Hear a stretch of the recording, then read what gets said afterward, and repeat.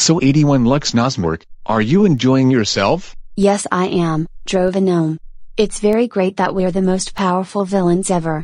Yes we are. And now that Viondo City is ours, none of the stupid heroes would dare to stop us, not even the stupid Justice Coalition.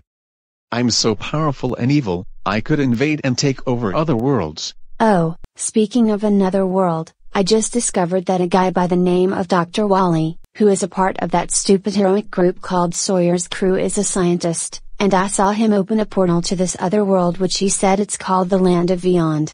Wait, the Land of Beyond, what's that, and how do you know about that?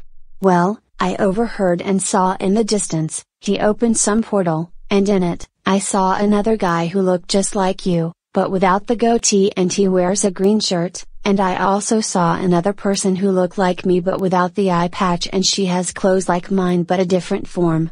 And I think they could be other versions of us that's heroes. Really, you don't say. You're saying that you saw Wally open a portal to some other world and you saw that there is another alternate version of us huh? Interesting. Yeah. He used some dimensional machine to do that. Well, if you can take me to his place and show me, we could steal this machine and find out about this other beyond world you speak of, and maybe we could invade and take over that one and this world at the same time. Oh, I would be glad to. Oh, but not right now.